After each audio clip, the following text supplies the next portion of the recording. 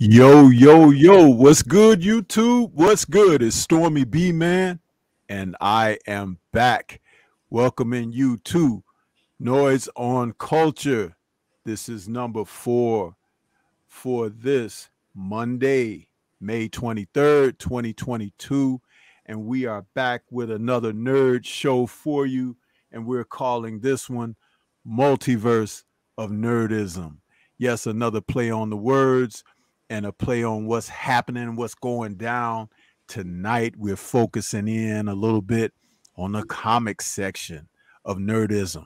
You know, we spread it all around from movies to the books to the graphic novels, you know, newspaper clips. It don't matter. It's all a part of the culture. And we enjoy each and every little bit of it. And we're here to talk about it. I got my man in the building with me. Drew Titan is in the house. What's good, Drew? What's good, Sensei? How you? Oh man, I'm excited, man. We're gonna get on this noids on culture tonight. Let's uh, get it. We've been talking about what we were gonna do, and uh I love the fact that we can bounce back and forth through different means of culture and and and, and nerdism, you know. So yeah. we don't leave anybody out. You know what yeah. I mean? It's like because hey man, we, we we can do a show talking about toys. You understand? That's coming. That's coming. Yeah, exactly. that's coming. And and uh, with so much in culture that, that there's a lot that we can revisit. So for people that caught a couple of the episodes that we had so far, and you're like, man, are you gonna talk about this too? And then just be patient. You know, we got a lot going on. Drew has a lot on his plate. I have a lot on mine, but we ain't forgot about y'all. So when we put these little joints together, just know that we doing it for you. You know what I'm saying? So it's that's what it's all about. You you got anything else on that, Drew? Let me tell you something.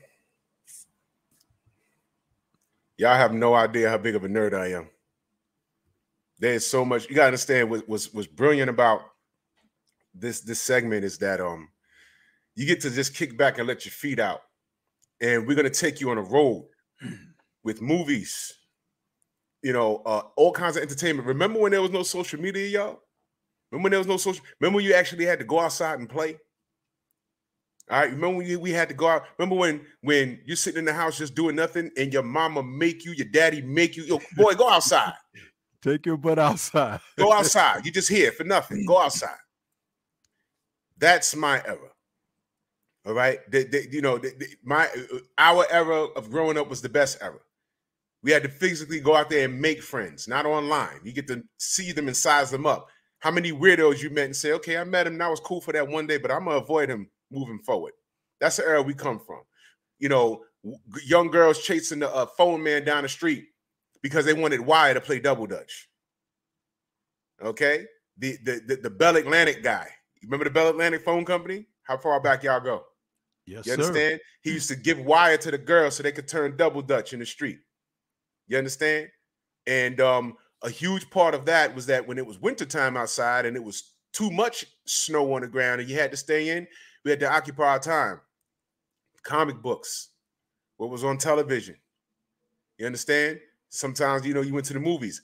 That's what the last noids on culture was about, you know, black exploitation films. So tonight, we're hitting up in the comic direction, the comic book uh, uh, s- segment of this. But there's so much to discuss, so much to talk about, past, present, and future, man. So I'm excited about this. Absolutely. And uh, as we get ready to uh, forge in, and uh, you know, there's plenty of brothers and sisters out there in the chat right now. If we if we don't get your name in the roll call, don't feel personal about it because we got some stuff to cook, cook through and we we only got an hour to work with. But starting out, we got skills from New Orleans out there. Geo James Khalil is out there. Big homie Coop in the building. Uh, KG84 rolling with us this evening. Jason is in the building. And uh, T Berry's out there. T Berry says, This is a great show because the topics are so dope. I'm still kind of stuck in my childhood. That's hey, what's up, man. That's what's up. See, that's what this show is about, man. It's supposed to be something fun for you, huh? And make you feel a little certain kind of way or, or nostalgia or whatever. Macadus Mac is in the building, and uh, everybody is saluting each other, man. Salute to everybody out there. We wanted to uh, kick the show off with a little bit of an acknowledgement and a dedication because we had we this month earlier this month really kicking off the month from may 1st all the way in, into uh, may 7th we lost two of the legendary comic book artists. And let me tell you people i can't say enough because i don't even know the volume of work that these men did, but I can acknowledge what I I noticed. May 1st, it was reported that we lost Neal Adams, the comic book artist for many DC and Marvel projects, most famously known uh, Neal Adams was most famously known for his Batman artwork. People really enjoyed his his Batman uh, work, and uh, I got a chance to meet Neal Adams. Uh, I want to say, ooh, this might have been 2017. I know it was just before the pandemic at the uh, at the uh, Comic Con here in Des Plaines, Illinois. When they come here in August, the month of August, I usually hit them up. And I got a chance to meet Neal Adams. Had I known, because sometimes they announce who's going to be there, and I wasn't looking for the comic book artist, but as I was walking through, you know, everything ran across his table where he was, and I got a chance to say, "Wow, this is Neal Adams." And if I'd known he was there, what I would have done was I would have brought something with me for him to autograph. Mm-hmm. Now, Neal was famously known and I'll put his photo up so people can see who he was. Uh, he was famously known for drawing the uh, world famous comic Superman versus Muhammad Ali. Right. Okay. And it was the giant book. And mm-hmm. what a lot of people may not know going back to that, and I think that I I'm not nailed down to this, but that book came out in 76, I think, or 77, because it was around Star Wars and stuff like that. Because when he did the comic book art for that, the whole cover would fold out from the front to back page mm-hmm. with Ali and Superman in the ring. But watching the fight in the audience were a lot of celebrities mm-hmm. and aliens from the comics and everything. Right. And on the inside of the book were circles around the figures of everyone sitting in the audience with numbers and had their names, who they were. So that was such a cool thing to see. Um, I still have my version of that book.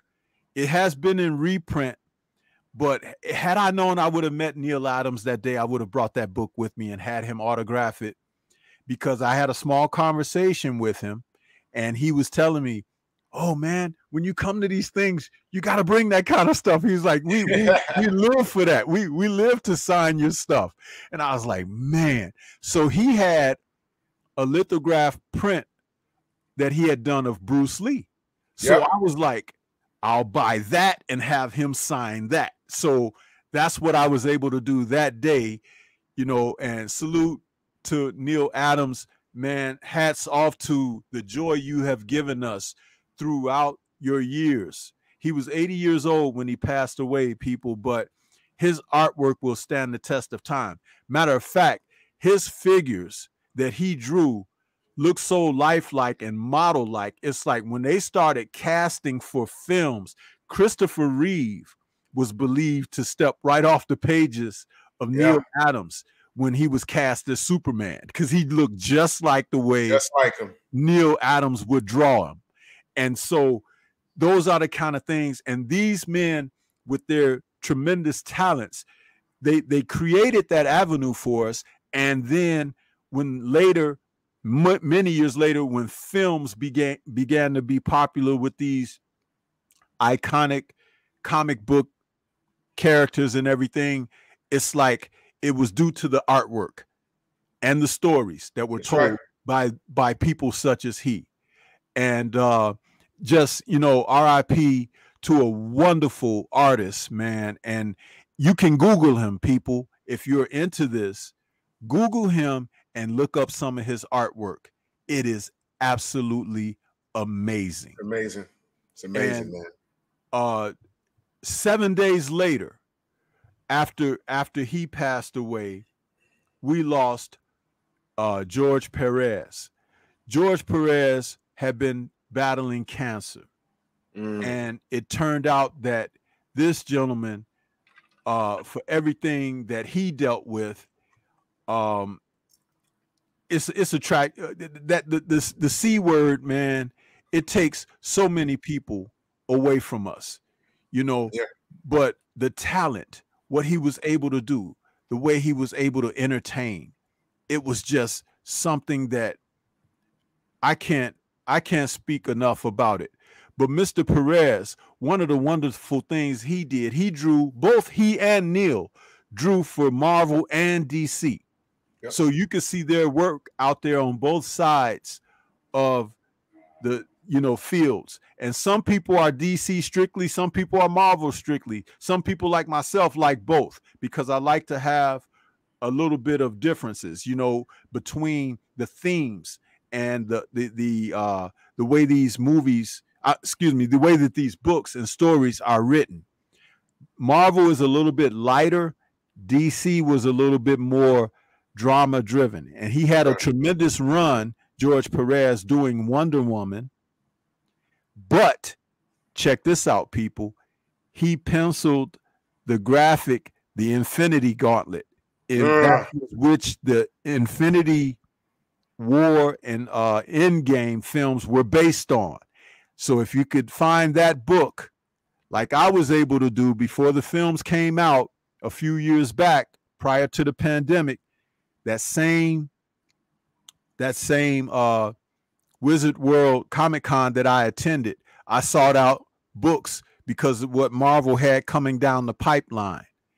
And the three books that I was able to get were Captain America the Winter Soldier, uh-huh. um, uh, Infinity Gauntlet, and then there was one more book that I that I got.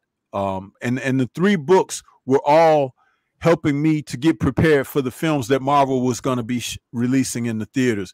And I'm so glad that I did it because with Mr. Perez's artwork here, there's just a, a, a one of the pages out of the Infinity Gauntlet where Thanos, using the Infinity Gauntlet, created a a space. He had a, a, a it was like a, a space rock where he created a, a um some kind of a monument to himself, and you himself, see the word God there. And the guy you see standing next to Thanos there is Mephisto. Mephisto. Yep. Now Mephisto was supposed to be in those films but there were too many characters, so they decided not to bring him in. But that doesn't mean we will not see him because now that Marvel has started d- diving into the uh, mystic arts and things of that nature, the horror side of things, Mephisto hangs around because he is like a god of demons and, and devils. Mm-hmm. So here he was acting as a jester for Thanos, and Thanos is admiring one of the monuments that he had made for himself. But this is all penciled by George Perez. And I'm telling you, a tremendous graphic novel. If you haven't had a chance to read The Infinity Gauntlet, you guys should check it out because The Infinity Gauntlet, surprisingly, lots of elements from the book were made it into the film. And Drew, and, and audience, I just want to say this before we move further, and then I'll let Drew speak his piece on these two gentlemen as well. Um, did you realize, like from the graphic, Doctor Strange created a means of sending the Avengers in space where they could breathe in space so they could face Thanos. because he had snapped half the universe out of existence and everything. So they had to go out there and try to defeat him. And he had all the infinity stones. He had turned Nebula into a zombie. Mm-hmm. You know, and when when when Doctor Strange did that, they were fighting Thanos on his rock monument there in space. And I had wondered when Infinity War uh in when Endgame was gonna come, which was part two, I was wondering like were they gonna meet him in space or something? And of course they did not, because that's a little far stretched, right? To, for Doctor Strange to create a means for them like that, but not really because they fought on his home planet. Right, Iron which Man is close enough. right, that was close enough. Yeah. But if you watch the film, when Thanos came through that time uh machine because it was mm-hmm. the 2012 Thanos coming into modern day, right? right? When he came through, he used his ship's missiles and bombs to blow up the Avengers facility and everything.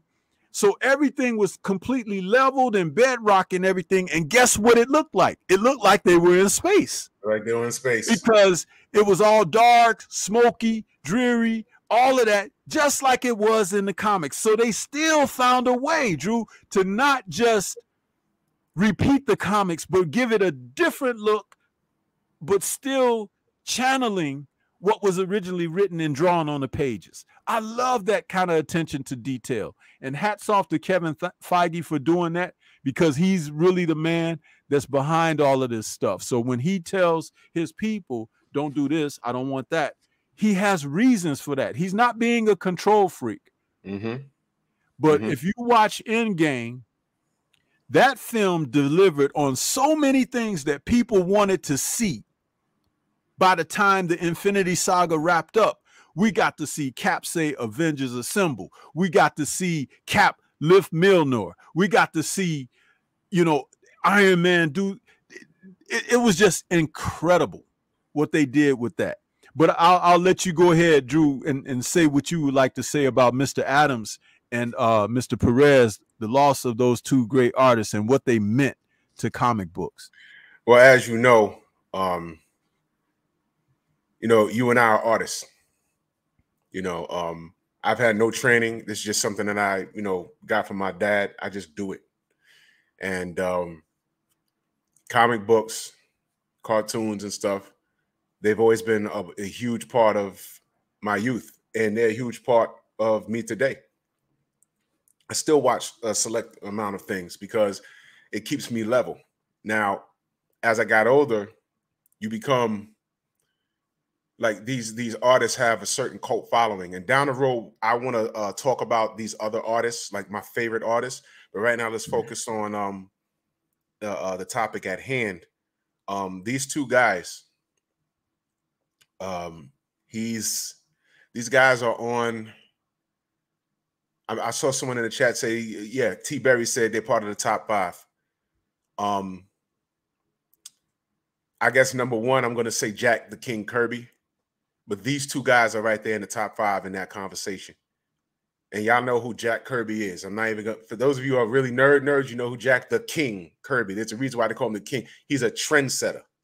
That's why they call him Jack the King. But these two gentlemen, they're they're right there. They they they they took characters that were pre-made and they put their own twist on it.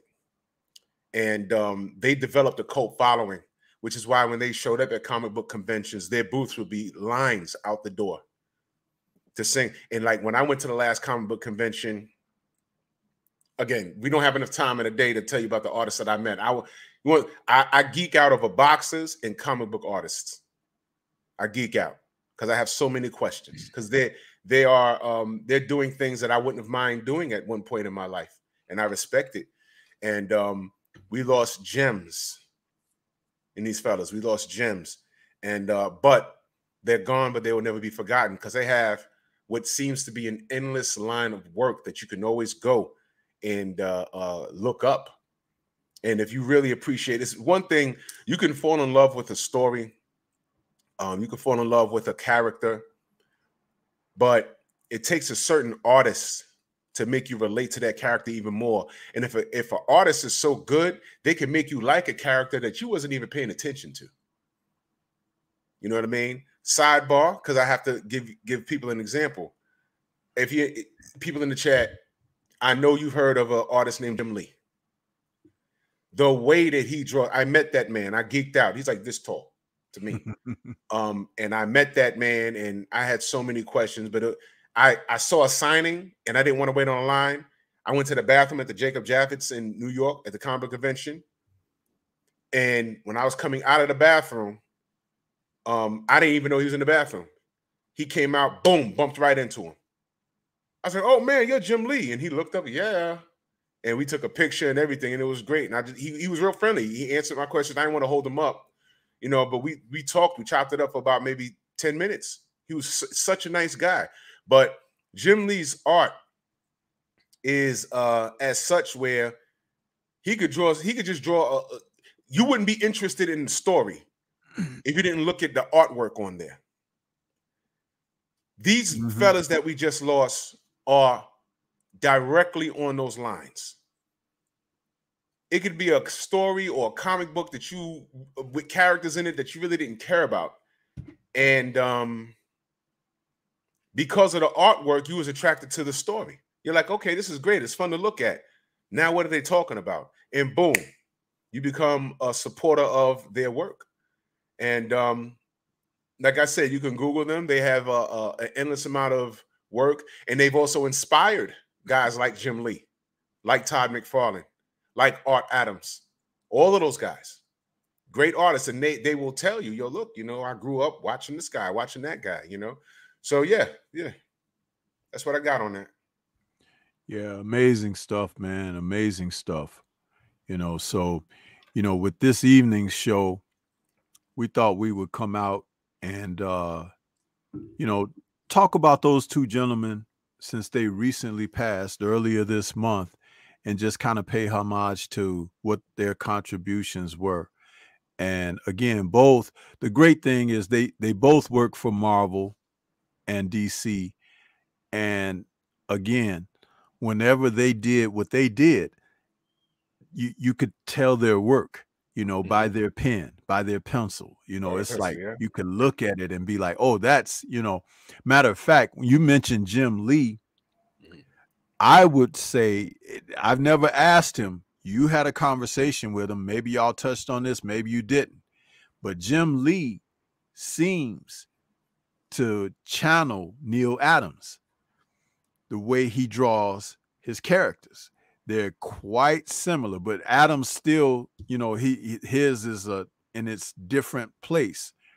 But uh there were other artists who were kind of similar too, like Steve Ditko Steve with Uh, uh, Marvel. You know, that were just and and as you mentioned, Kirby, he was his own man. Kirby would have really loved Marvel's Eternals film. Yes, he lived yes, to yes. see that because yes. he created those characters. Mm-hmm. And then when he fell out with Marvel, he went over to DC and created the New Gods. Remember that, Drew? Smack in the face. Yeah, and it's like wow. But the and it's funny. Go ahead. It, I'm go sorry ahead. not to cut you off, but it's funny because Jim Lee had a similar all the car all the artists from the 90s and we could talk about that some other time but they all branched off and formed image yes but jim lee made his mark when he started doing x-men that's when he started you know he caught fire when he did x-men when they revamped it there was a lot of guys Whilce Portacio uncanny x-men uh um rob liefeld who i talk to periodically on on instagram uh, uh, X Force, and Jim Lee took over X Men. And eventually, when that ran dry, he ends up in DC, and it, he he does the new Fifty Two. and I said, "Oh shoot, man, that's like a kick in the nuts to Marvel." Yep. It, it, was just, it, but it's great, man, because I I love watching. I like the art. You know, I know there's there's there's business behind it, but I'm just a fan of it. I just want to see what they put out next. Yeah, and like I said, Kirby was something else, man. He, he his his Fantastic Four, Oh, uh, his old Avengers and Incredible Hulk and stuff. He his characters had a certain distinctive look, almost like a chiseled look. yeah, And man, he could draw beautiful women, couldn't he? yeah. Jack Kirby, his women were like, man, like The way they off the- posed, they yeah, a lot of feminine poses, but they were superheroes. right, absolutely, Yeah. man. Yeah, So, you know, it, it was great to see that.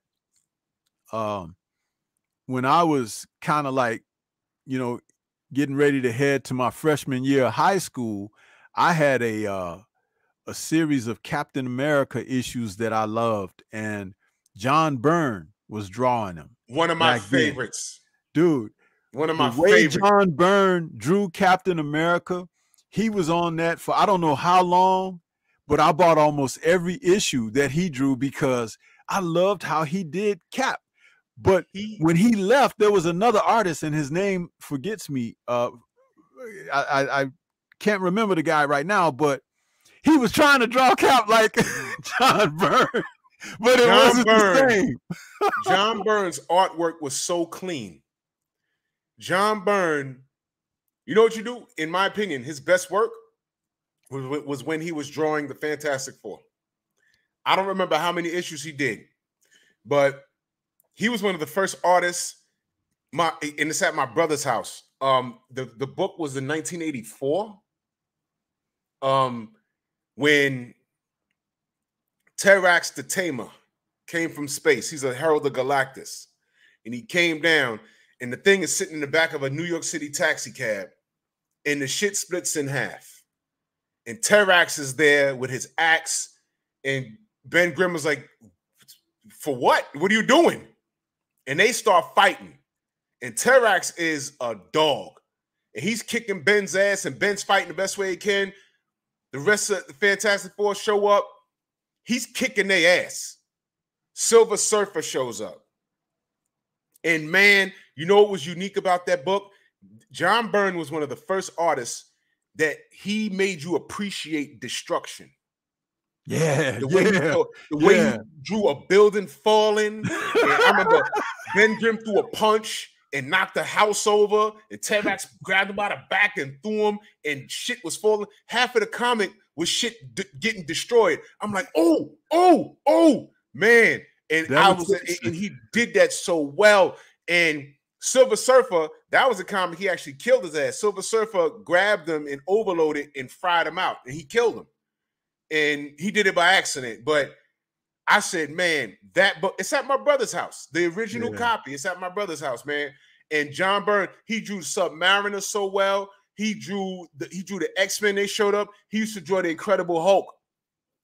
Man, John Byrne is that dude, man. I loved his artwork, man. I Yeah. loved him, man.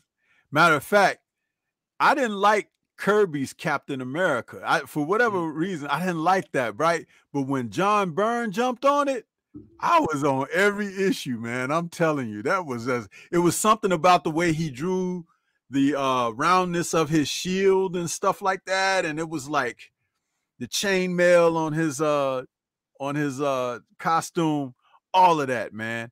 And he only made the three stripes on his on his uh you know waist, you know, that goes around like a flag there. But Byrne was awesome, man. Man, he was awesome with what he would do, man. That that was just whew, it- it- that era, Drew. Eh, people don't realize, do they? They they don't realize. They don't they don't know. They don't know. They don't they'll never know. And if you love the artwork, man, this is why we geeking out over it, man, because that's that's my era. 80s and the 90s was really good too.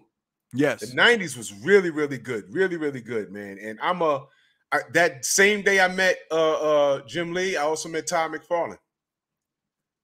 And that guy, man, that guy is something else. I he signed my first issue of Spawn.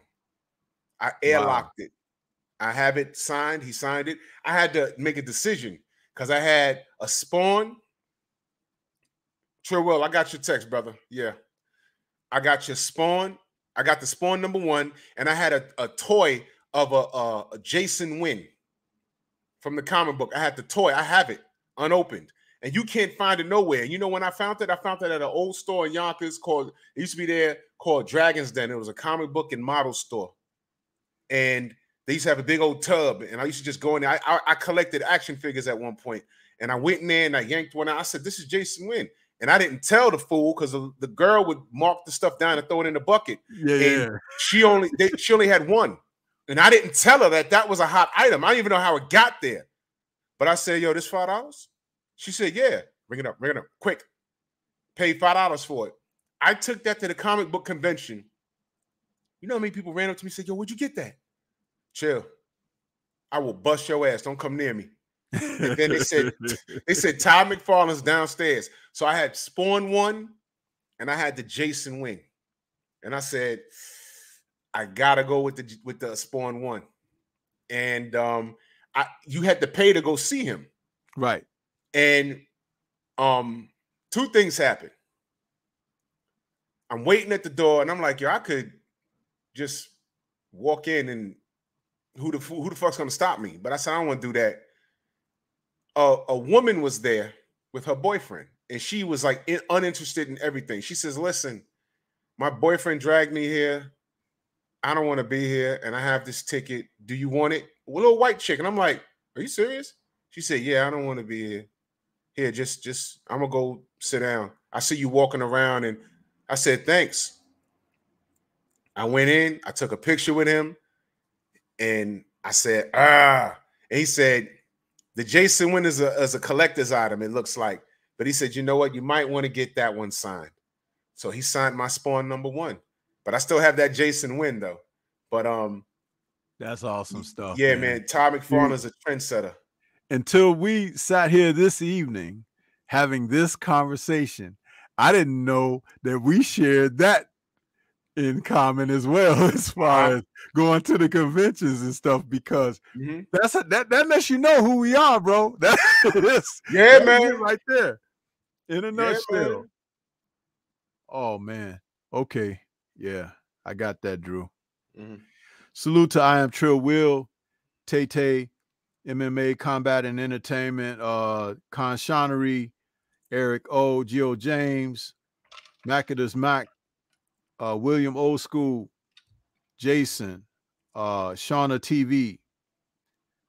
Uh, salute to all of you out there uh, coming in after we did a roll call. Yave, I see you out there. Uh, Drew, let's get on to the other meat of the show that we wanted to talk about and the play on the words of the ten, of the title of tonight's show, multiverse of nerdism. When we talk about the multiverse, in the comics.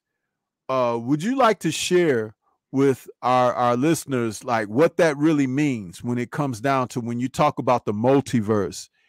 Uh, you know, and and and we, we're going to get into uh, what's happening as of late and everything with the movies, the TV series, and stuff like that. But we kind of want to give them an idea because some of them may not be as versed as we are. right, right, right. so um, okay, multi multiverse. Um, pretty much what we've been talking about. Multiverse pretty much means that there's endless possibilities. And me and Stormy talked about this behind the scenes. Now, y- y'all know the Doctor Strange thing is in the theaters now, and it's endless possibilities. Endless, endless possibilities. There's there's not just one Loki. See, as soon as I said it, he put the picture up. See, we in sync, bro. There's not one Loki. How did you do that, man? That's crazy. There's not just one Loki. There's endless possibilities of different Lokis. There's a goddamn Loki alligator. There's a kid Loki. There's an old Loki. There's a female Loki. But 616 is the main universe, right? Now, um, just to jump ahead, I want y'all to understand because I also saw uh who put that in there. Okay, all right, all right. I want y'all to check. I want y'all to pay attention, y'all.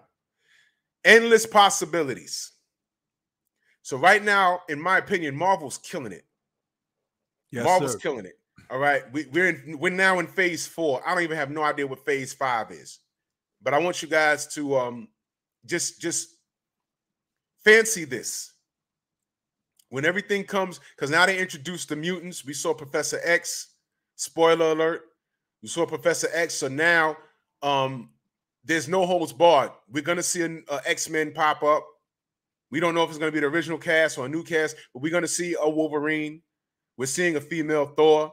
We're going to see uh, a new Cyclops. We're going to see a Colossus. We're going to see all of that. We're going to see a Deadpool. We're going to see all of it, right?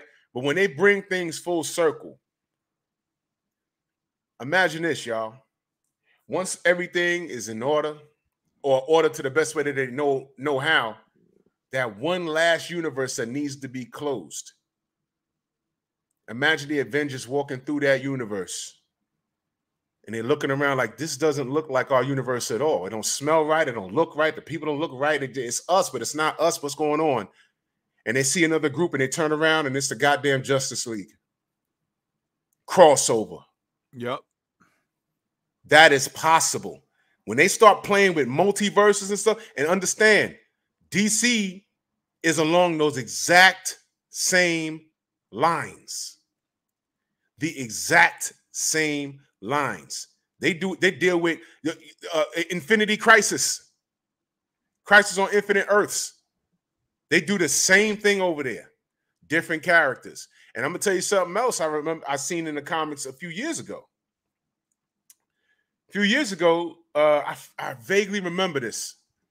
They traveled to the end of time. I forgot which characters did it, and they ran into an angel and when the angel turned around, it was a goddamn angel from Image Comics from Spawn.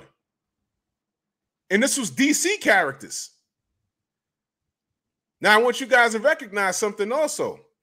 There was a a, a, a cartoon film. Uh, uh, it was the Flash Flashpoint. Flashpoint. If you watch Flashpoint, when Flash went into that other Earth where uh um what was it? Aquaman had an affair with Wonder Woman. Wonder Woman killed his wife, and Atlantis started beefing with uh, uh, the Amazons. Right? There were image comic characters in that dimension. Mm-hmm. Okay, and people won't even pick that up. I said, "What is Grifter doing in this? He's an image character." You see what I'm saying? The possibilities are endless. Let, let me hang something this. on let me hang something on what you just said too with DC and Marvel about a future possible crossover. James Gunn, when he got fired from Marvel uh, a couple of years back, DC hired him to do the new Suicide Squad film. Mm-hmm. In the meantime, Kevin Feige fought to have James Gunn reinstated with Marvel so he could finish out what he was doing with them. Not just the Guardians of the Galaxy 3 that's on the horizon, but some of the uh galactic stories that they were going to be telling like with the marvels and stuff like that he had already planted seeds right. through what they were going to be doing but Mr. Gunn let the cat out of the bag that he had a conversation with some DC people and Kevin Feige that somewhere down the line that they discussed the possibilities of having that crossover that you just mentioned. Mm-hmm. But it'll be after they finish telling some of these other stories that they have on the table, and right. they have a vast amount of them. So even whoever's around right now might be the might not be those playing those characters when that final crossover, but you can't tell me that nobody will spend the money to go see it. And you're oh, talking man. about possibly two billion dollars right then if they were to cross over Marvel and DC. That right there would be one of the greatest things in the history of cinema, right there. Man, all kinds of fans will be coming. I, I won't be surprised. I don't want to wish this. I say it jokingly, but in this day and age, you never know. It might be a goddamn gang war of old people. The Hulk is better than Superman. No, Thor's better than everybody. You know, it's going, you know, it'll be all in good fun, man. But that'll be the most nerdiest get together like of all times. I left this picture of Loki up for a reason. just to get quickly through this, if you guys haven't had a chance to see the Loki Disney Plus series, please check it out. Because if you're following the Marvel films, this film, this uh mini series right here with Loki, which has been greenlit for a second season, they're gonna have a second season of Loki on Disney Plus. But this series right here is so integral to what is happening right now and how the world is in in uh, the Marvel universe is changing with every film. It it's it cannot be overstated. So bringing us to up to speed to Doctor Strange in the Multiverse of Madness, which is out right now. I had a chance to see it. Drew had a chance to see it. It's a tremendous story within the multiverse of things, happenings uh, following on the heels of Spider-Man. Uh, what what's what is it? Uh, Far, I'm trying uh, to far get from home. uh, Far From Home. No, the, uh, the latest one, Oh, the late. Oh, oh, oh. All right, it's no way home. No Way Home. Yeah, because you know those play on homes. It's like now Yeah, it's yeah, all yeah, in my head now. It's like right, Spider-Man, No Way Home. Doctor Strange is in that film, and there's a serious storyline that connects this to the Loki TV series, this film here, Multiverse of Madness. Uh, so much going on that it is you you you have to see the films, but you do have to watch Loki because Loki sets all of this up and it puts a character who is going to be tremendously meaningful in the near future. Kang the Conqueror is in this. If you've read the comics, you're familiar with Kang. They found a way to put that in there. But with this particular film, uh, Multiverse of Madness, we actually see the Scarlet Witch come into her own. And even off of her TV series that was, you know, uh what was it called, Drew? The um the Disney Plus series? WandaVision. WandaVision. WandaVision, yeah. Where we saw her coming around to being in her. This film right here shows Scarlet Witch. She could have handled Thanos all by herself, people. Yeah. She could have handled Thanos all by herself and was going to until Thanos told his people to rain fire down on everybody. Otherwise, he was gonna die at the hands of Scarlet Witch. And she is incredibly powerful. And she has an agenda in this film. You guys have got to check it out. But with the multiverse, what we're finding is there are characters from alternative universes who show up and they begin to have an impact. America Chavez, whose superpower is traveling through alternate universes. And she's the only one of her kind. When I say the only one, you know how we just said there's different yous in all these universes. She's the only one. Yes. And th- this is so amazing to uh, see how this story plays out. And of course, we get the money of this right here, man. I had to bring it in there, Drew, because Man. it just gives people a reason to buy into it. Now, what you see right there is John Krasinski as Reed Richards, Mr. Fantastic. Fantastic. Okay. And then you see uh uh what's her name? That's not Monica Rambeau. Monica Rambeau is the daughter, but Right. that's her to his to his right immediately. That's Rambeau's mom, uh, Carol Danvers' best friend, as a alternate universes Captain Marvel. Then Very just to, his, just to his left, who is that, Drew? Tell Black everybody Bolt. who that is Black Bolt from the Inhumans. from the Inhumans, and it's the same actor who played him in the Inhumans in the television series. Television series, yeah. And off to the far left, you got Peggy Carter, Mhm. aka Captain Britain, Captain Britain. From the What If series in live action. What If is on the Disney Plus channel. It's an animated series by Marvel, all included in the 616 universe of storytelling. And there you have Peggy Carter, aka Captain Britain. Dude, when they when they brought this out for the people, you could just hear gasps in the audience when I was watching this, Drew. Yeah. Uh, I don't know what it was like for your your viewing experience, but it was really a, a geek out moment for for the film. My my uh my heart was racing. and then when Professor X rolled out, and then you heard the 1990s theme from the cartoon. Uh-huh. I said, hell no. they really they went there. They're doing everything. They're doing everything great. And I said, oh shit. Here we go if um and I know this is shot in the dark, but please, and y'all know who I'm talking to. Listen, man. If you're seeing this, please come back and play Wolverine for at least two movies. Just do it for us, man. We know there could be any other Wolverine or whatever. Just come back, Hugh Jackman. Please. Just just just just humor us, please. Just do it. Just do it. Please. Damn.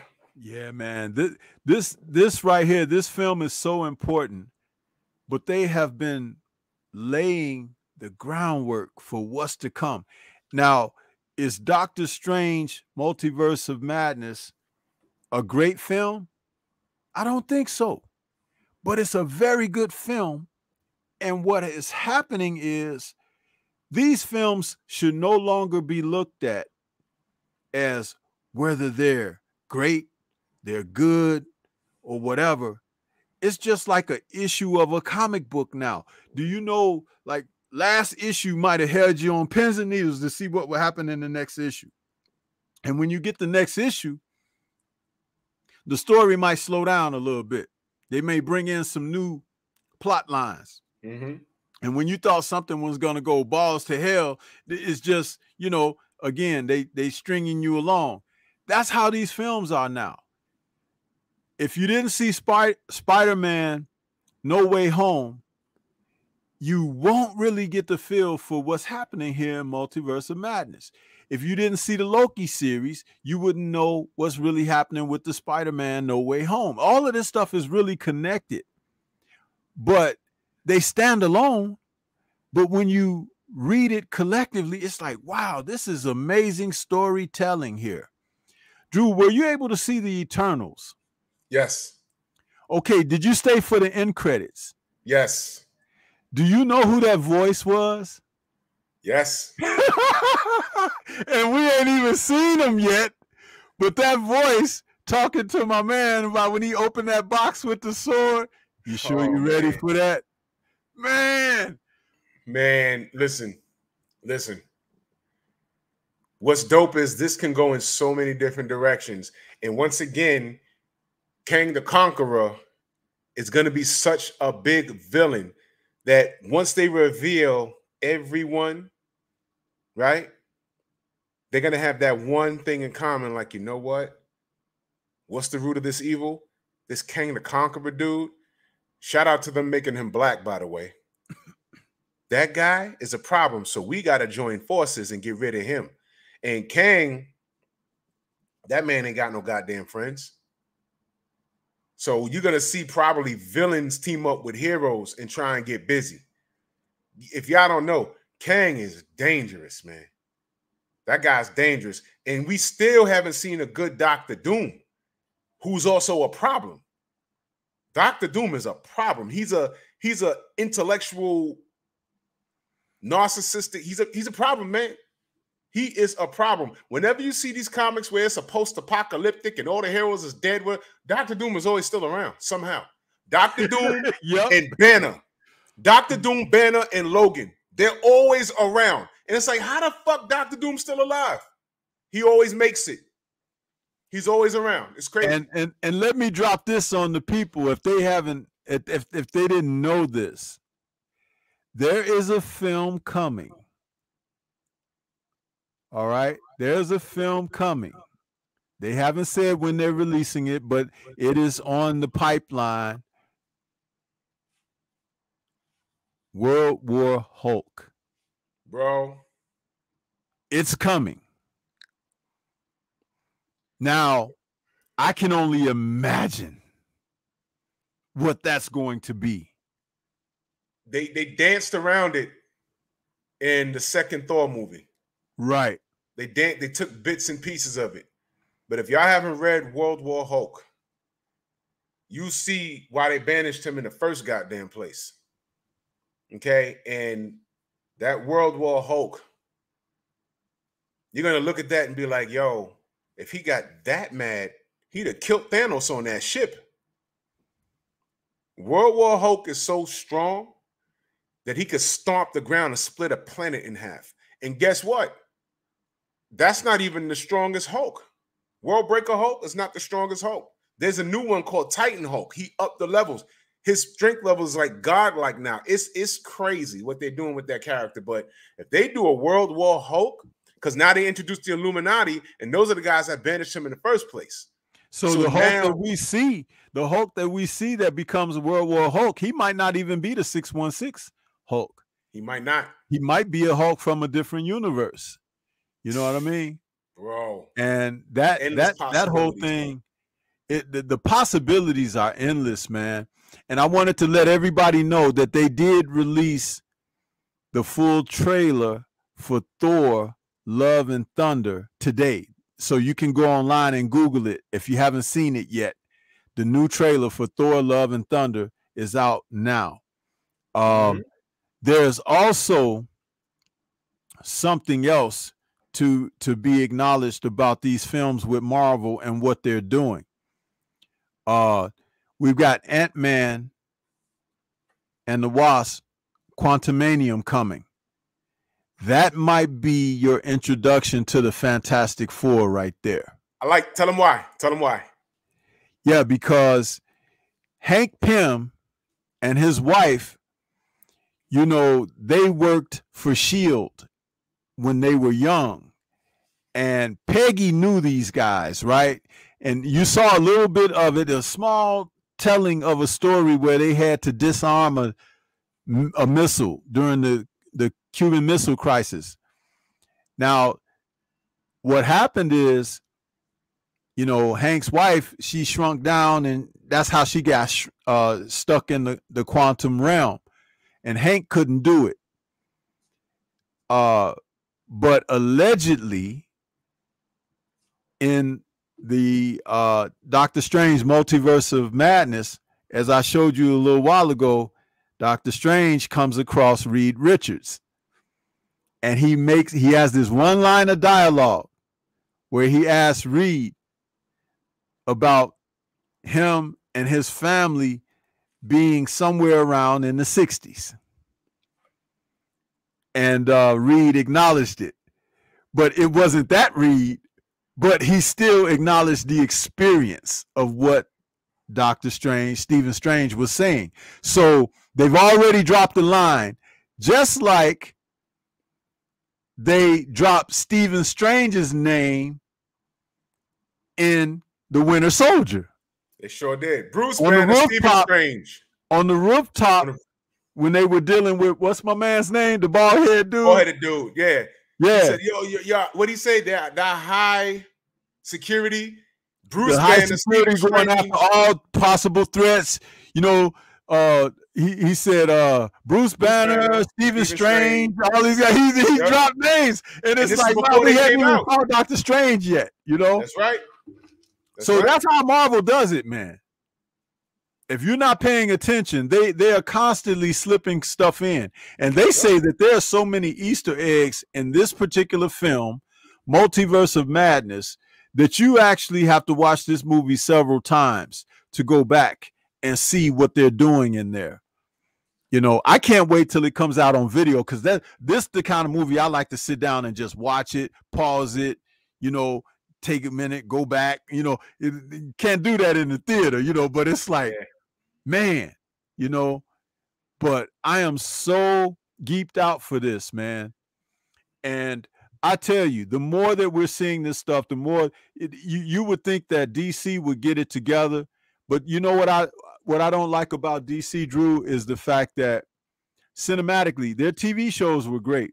Yeah. But cinematically, if it doesn't do box office revenue that they projected to make, they abandon the idea of continuing on. And then they'll just say, let's go make another Batman movie with another Batman. You know what I'm saying? It's like yeah. they continue to do this stuff so foolishly. If you look in the past 10 years, how many Batman films we had, or how oh, many shit. guys have played Batman cinematically for DC, it's ridiculous. There's been about 12 Batman films. It's it's ridiculous. Yeah. And, and and you could actually where's the where's the Man of Steel 2? You finally got a a a a, a, a solid guy that yeah. the audiences love Henry yeah. Cavill, and they won't make another film. It's ridiculous. The, the, the director, Zack Snyder, finally got a guy who had a vision for mm-hmm. films. He had a five film vision. He had a, a Man of Steel film, a, a Man of Steel sequel, uh, and three Justice League films that would culminate in Superman turning into the goody two shoes guys that we all know him to be. But there was supposed to be a, a, a arc in his story that they go through. The the people at DC Warner Brothers was like, ah, nobody wants to see that. Do you know the black suit Superman that shows up in the Justice League film, the real Justice League film? It's like he didn't want they didn't want to do that. You know what I mean? They they they didn't want to keep the reality. They wouldn't let him wear the mullet because he was supposed to wear the mullet too. But they said, no, no, no, don't put a mullet on Henry Cavill. It's like they they totally and see that's why they're losing on their, their films. films. Their films seem rushed. Um, you can't play catch up to Marvel because obviously that's the competition. But you see, you have to get the audience to fall in love with the characters. There has to be some sort of um, you have to like the character to appreciate it. You have to want to see more of the character. Um, the Aquaman movie. See, look, this is my childhood, so it's fun to look at. What they do with these special effects are amazing, but you gotta still fall in love with the character to want to see it again. You know, and it's like you're being force fed. You know, there's gonna be a sequel. You know, you're gonna see it again, but do you really care about it? You understand? And that that Superman movie when he fought Zod and everything that was a damn good film. I mean, that was a it was I it got a little I got a little dizzy looking at it in the theater because there was so much going on, but that was a damn good film. The Batman versus Superman was a damn good film, and they took pieces from the comic book, you know, um, the Dark Knight Returns and stuff like that. Damn good film, but they dropped the ball a little bit.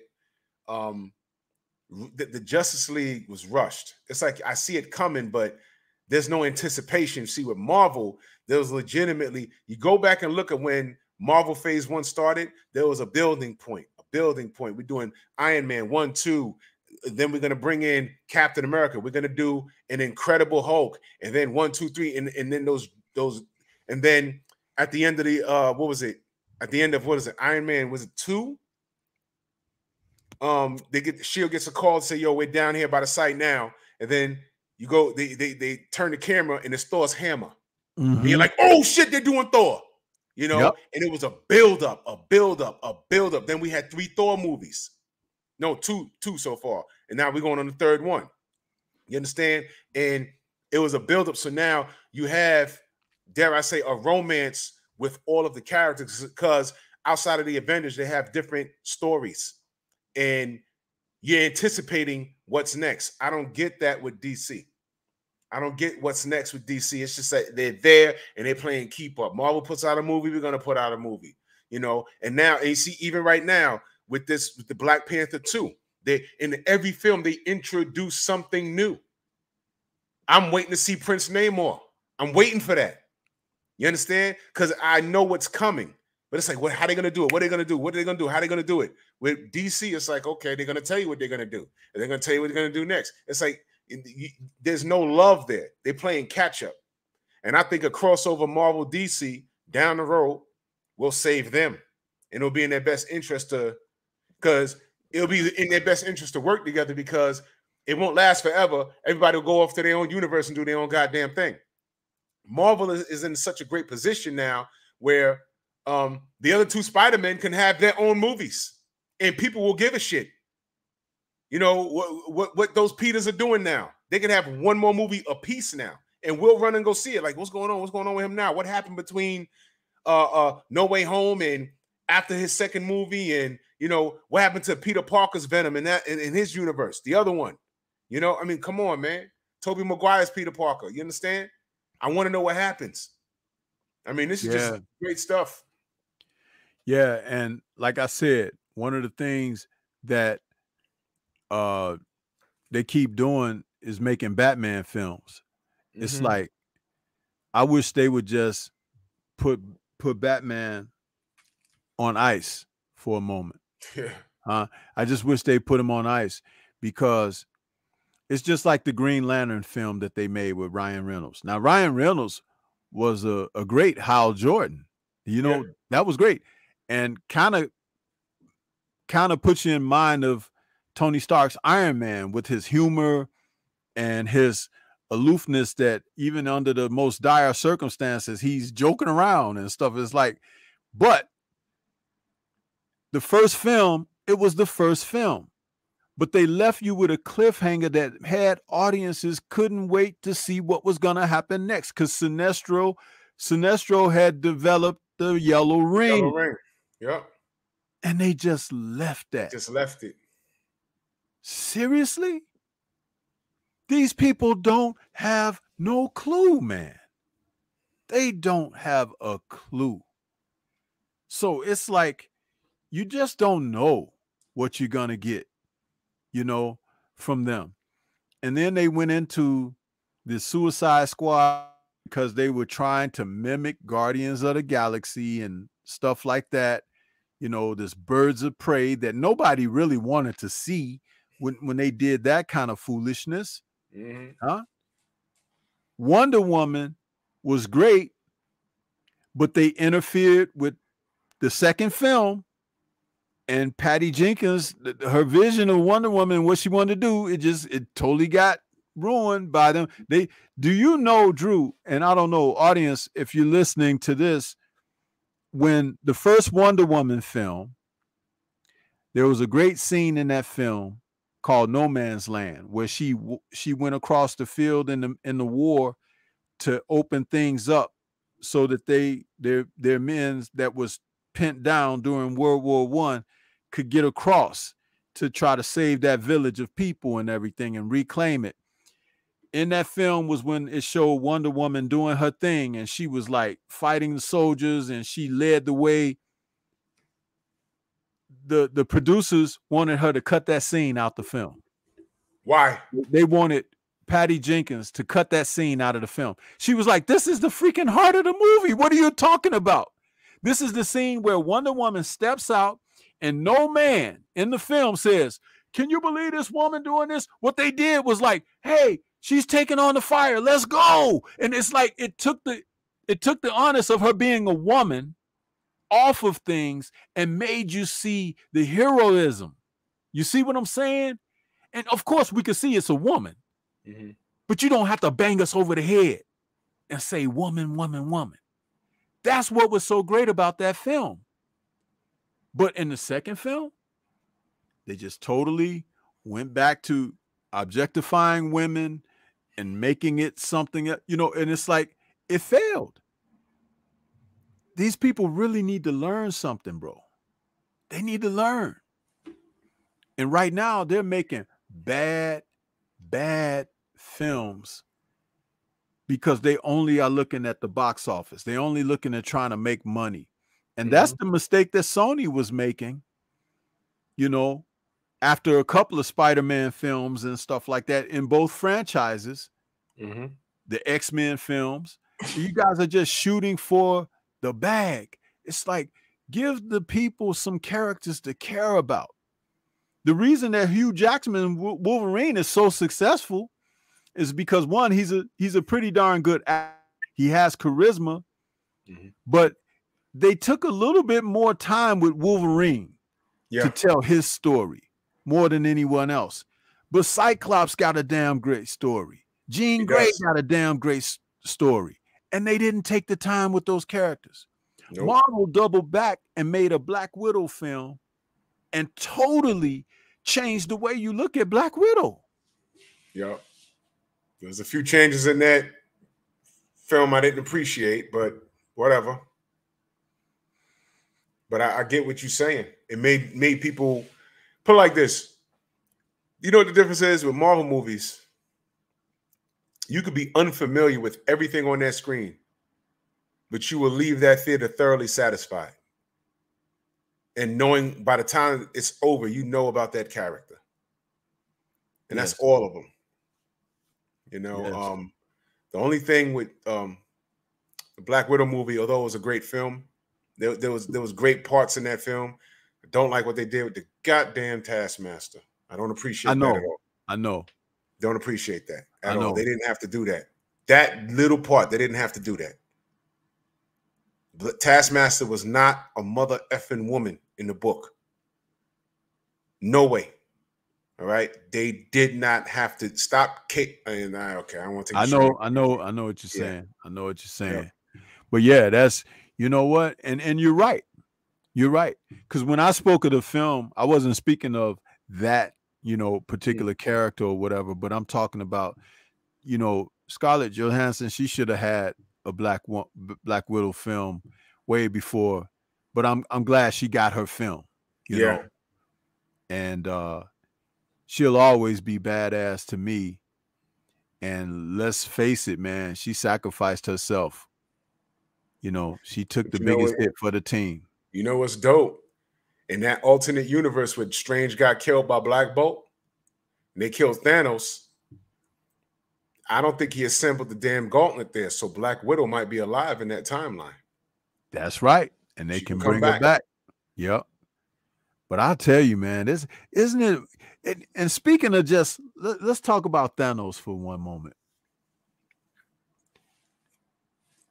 when when he threw Gamora over that mountain, man.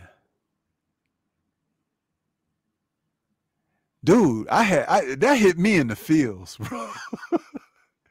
Yo, that hit me said? in the feels because it's it's like he always talked about how he loved her.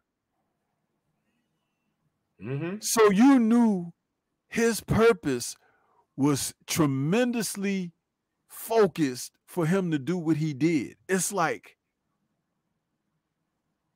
that's the ultimate villain right there. Man. He threw his daughter off a damn cliff, y'all. In the name of the universe. Now, when you really think about it, it is so Thanos is so goddamn petty. And let me give y'all something else. If you don't know about Thanos in the book, he's a bigger a hole in the book. That's for sure. He's a bigger a hole in the book. He's a big time a hole. There was something he did in this storyline. When I got done reading it, I, I was sitting here at my desk like, who the hell wrote this? Why did he do that? Y'all want, I'll give you the short version of this comic this girl, I think she was blind, and she had this beautiful life. She met a guy and something. It was like a, I'm reading it, it was a corny story or whatever. And then I think I think she like blinked, and in a snap, she lost everything. And she was like, What the hell happened? And Thanos is at the back of the comic book, just standing with his arms behind his back with that fucking smile he got. You know what this dumbass did? He went back to a moment in time and just changed her past slightly so that she never missed her, she never met her husband. She didn't have a job. She ended up on like welfare or something. Her whole life was altered because he altered her direction at that one moment. And I think she ended up being becoming blind. It's like one little thing he changed, her life went from perfect to complete crap. And I'm reading this like, what am I reading? And at the end, I turn the page, he's just standing behind her with his hands behind, smiling. He did it for no reason. when I said, yo, why you why is he effing with people? The writer wrote that, but that's who Thanos is. He's an he's an a-hole. So of course he threw Gamora off the damn cliff. this guy's a jerk. He's he's a jerk. Really think what he did. Talk, when he was talking to her on that mountain and she started talking stuff to him and everything. And when uh Red Skull said to her, what he what did he say? I don't remember the line of dialogue. Sacrifice like, something you love. yeah, like sacrifice. That. He's not talking about himself. And she looked at him, and all of a sudden she yep. got it. She and said, he was oh, right shit. up. He was like right up on her too. And yep. you know what, Drew? They had the nerve to have a tear rolling down his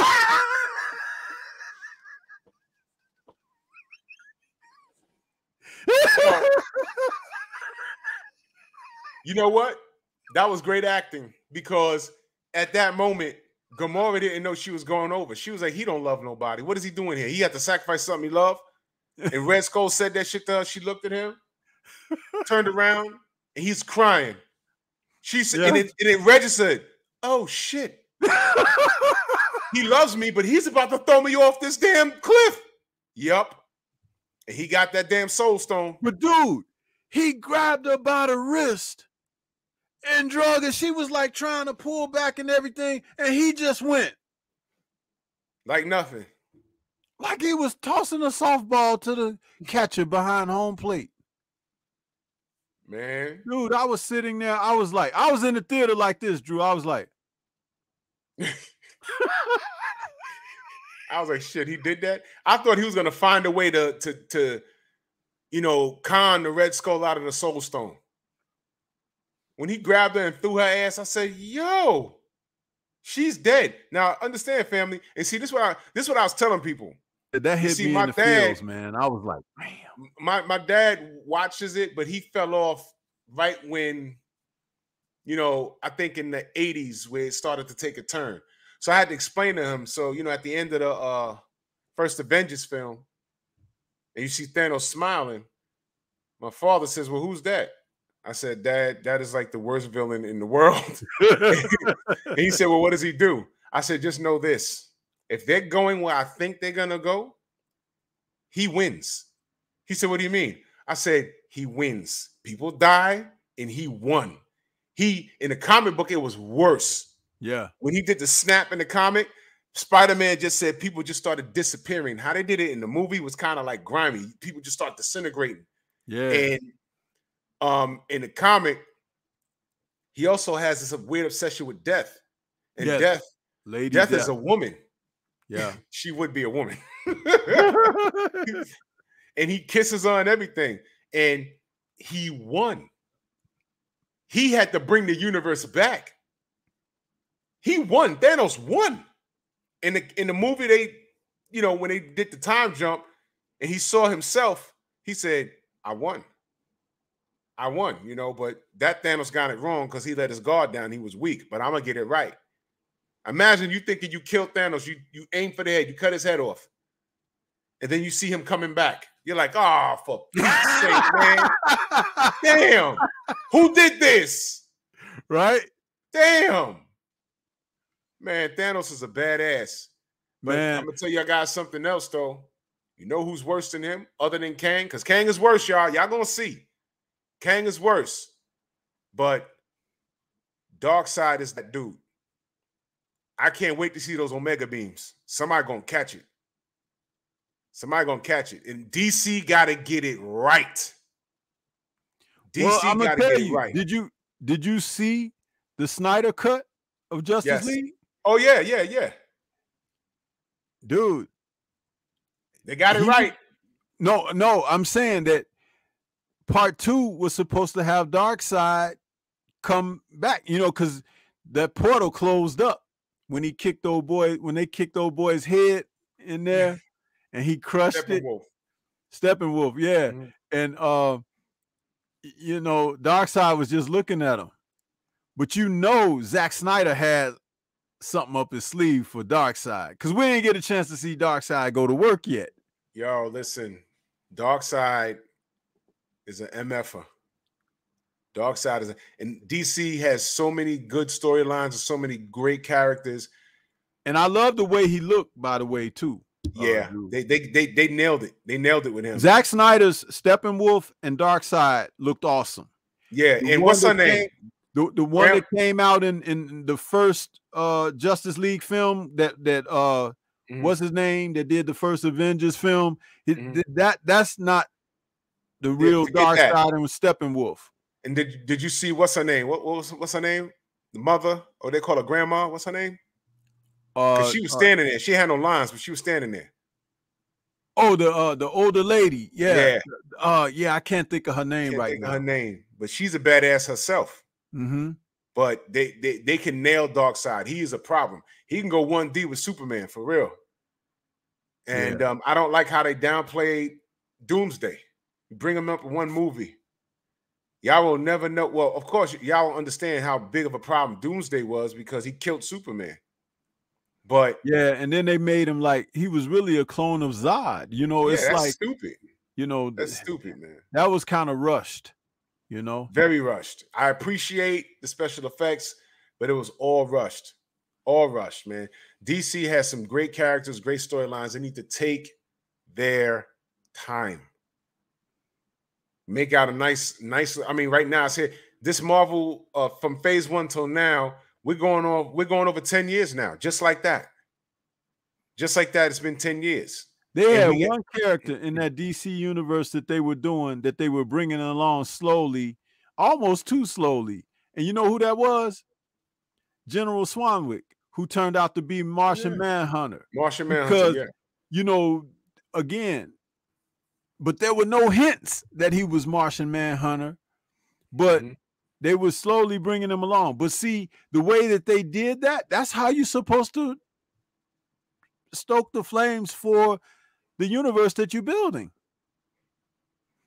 That's yep. just like, I had no idea they were gonna make a Martian, but you know what? I should have known because Martian Manhunter, his alter ego, is a black man. Right. And I just didn't think it would be him. Man of Steel, when they had him sitting in the in the in the uh the interrogation room with Lois, and yeah. he had handcuffs on, right? Mm-hmm. And they they said that this was a key.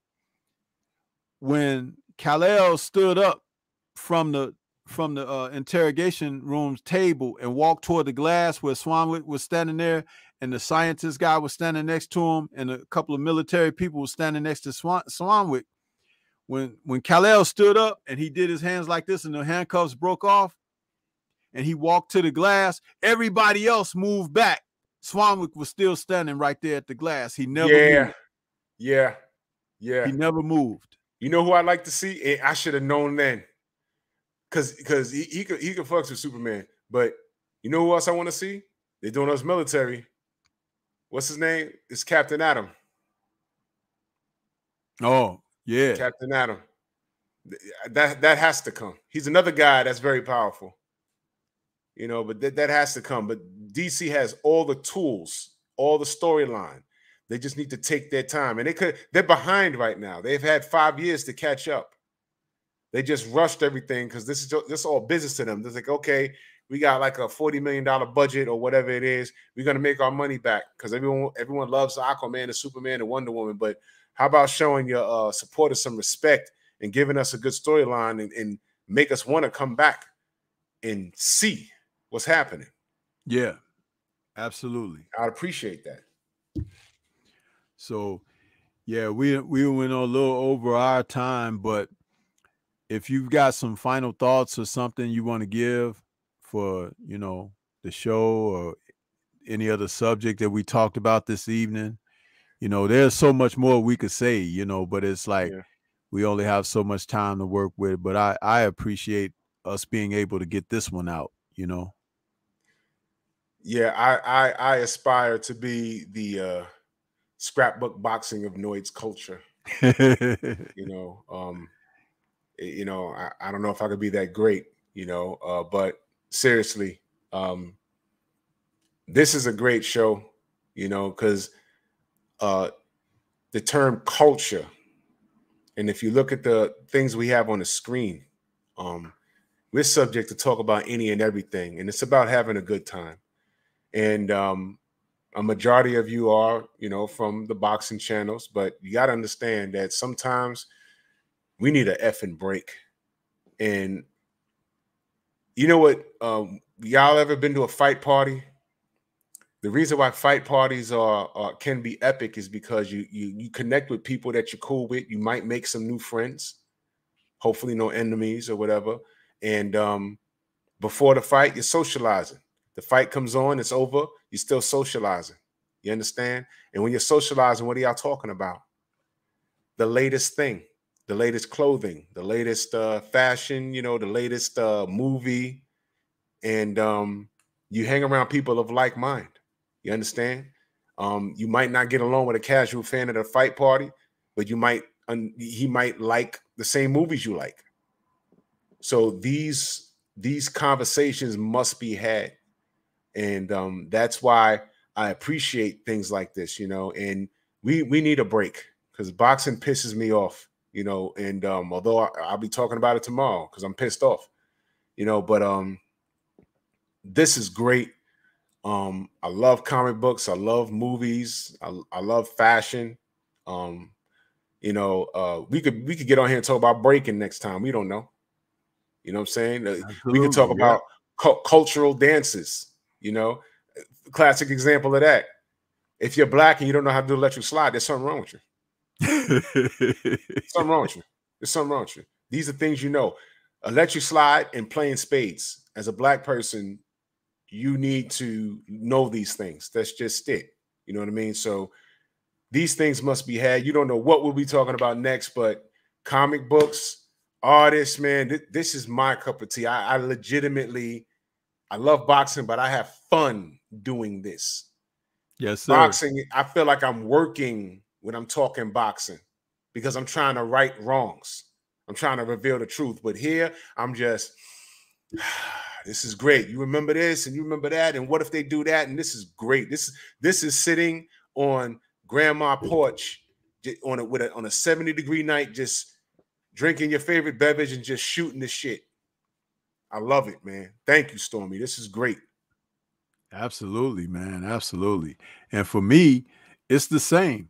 You know, like I said, you and I, we talk behind the scenes, but it seems like we find out more about each other when we right, do these right. shows. Isn't crazy?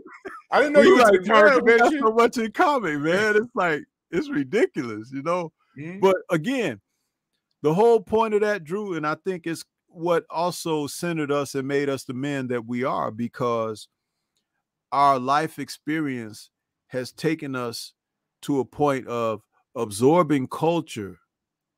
You know, it gives you a different sense of a, a, a, a foundation and how you go about your life and everything. A man who reads, a man who writes, a man who draws, a man who does music, uh, all of these things can put you in a position to uh you you you you what's in you can be shared with the world you know what i mean?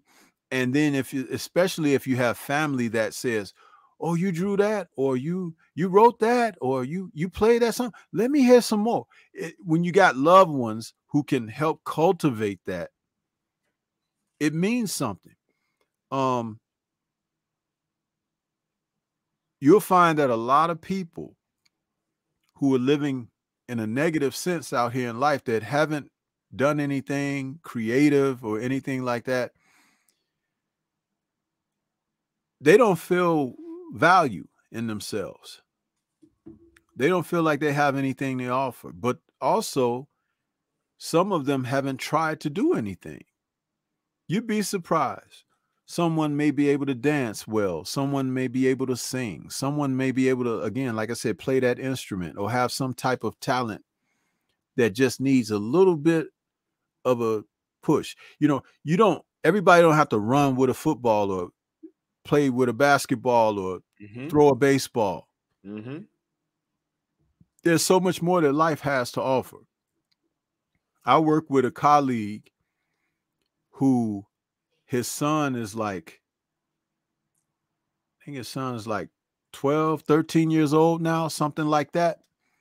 But when his son was like four years old, he was like, Hey man, what do you think? I want to put my son in something like, you know, Taekwondo or Uh-huh. something to do something with him, you know, and show him how to play with other kids and be a part of something, a team or whatever.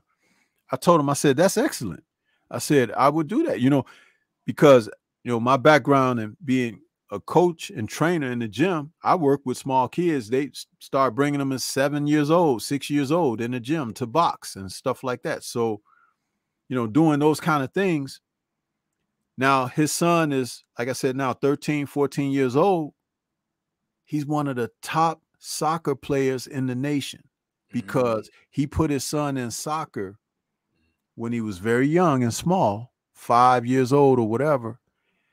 He didn't like it at first, but his dad said, Oh, you need to do this or whatever. And when he put his mind into it and started liking it, he got better. And he got more athletic. He got it's like he started advancing beyond his his, you know, peers. And now he's got teams, professional teams, soccer teams looking at his son already. Mm. There's opportunity possibly for scholarships and things like that. He's already done some traveling for soccer. And you know how big soccer is. Very worldwide. So he's done this. And I remember when he asked me years ago. And my endorsement was absolutely put your son in something because you never know what could come out of that. And now his son might one day retire his dad because he is so good at what he's doing. I mean, literally, Drew, he is good. His name is on a high list of young boys his age. He's he's head and shoulders above everyone he plays against. Mm. Wow. And that and, and that's not, you know, nothing to sneeze at. Like I said, they've traveled throughout the country, you know, playing in tournaments and stuff like that. He Mm. has to sometimes take time off of work to take his son to some of these events, but it's paying off. And his son has gotten good. He's, he's good, literally. You know, Uh, it's amazing thing. So I said all of that to say, like, when we talk about culture, this is what it's all about. This is what we have before our fingertips. You you see these young kids out here in the street and stuff carrying pistols on them and stuff and don't know how to dress and don't know how to carry themselves. It's like because nobody ever took time out with them. Nobody ever took time out. If you got a dad, your dad's going to show you some things because that's the first teacher to teach you how to be a man. Damn. And if he's not around, how can you really become a man? You know, the woman can't do it. We talked about that. Yeah. Right? We talked about that. The woman can give you all the nurturing and love in the world, but the man has to show you how to be a man. And we're not saying that in a superficial way. We're talking about it like what we have. And I'm sure I grew up with mine, you grew up with yours, and that's the difference. And I'm not saying that for those who didn't have that, because sometimes there are things that happen. Dad can be taken away, dad can pass away. There's a number of things that, but that's not what I'm talking about here. Because there are still ways that the community can assist if you allow it to do so. Uh, and that mentorship can come in many forms. It can come from many different directions, Mhm. but you also have to be receptive to it, That's right. you know? So, you know, just want to say that, you know, that's what this show is all about. We will have more of them. There'll probably be more topics that we revisit. But the whole thing of it is, is that at least we're doing it. Right. And it's a great breakaway from boxing because we talk Yeah. boxing all the time, you know. But it's nice to be able to do this. Look, we had some people in here this evening that showed some support. I see the thumbs up on this show is like 50 something. that's pretty cool. It's good. We'll real take good. it. Yes. You know what I mean?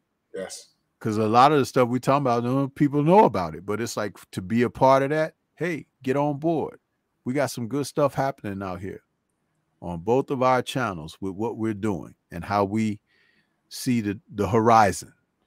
You know, so I appreciate you being here with me this evening. I appreciate everybody that was out there in the chat this evening, and we'll be back for another one of these soon. Yes, sir. So, but uh, for that, we're gonna sign on off. Everybody enjoy the rest of your week, and we'll catch you guys on the next one. Noids on Culture. Peace to everybody. Shout out to the mighty LDBC, and we out.